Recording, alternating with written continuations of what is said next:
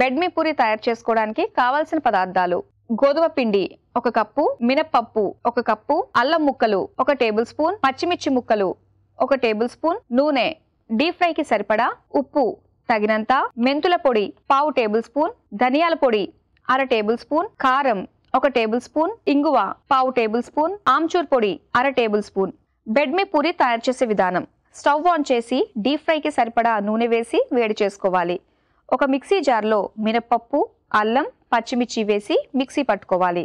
తర్వాత ఒక మిక్సింగ్ బౌల్లోకి తీసుకుని అందులో కారం ఉప్పు ఇంగువ మెంతుల పొడి ధనియాల పొడి ఆమ్చూర్ కొద్దిగా నూనె గోధుమ పిండి వేసి బాగా కలుపుకోవాలి.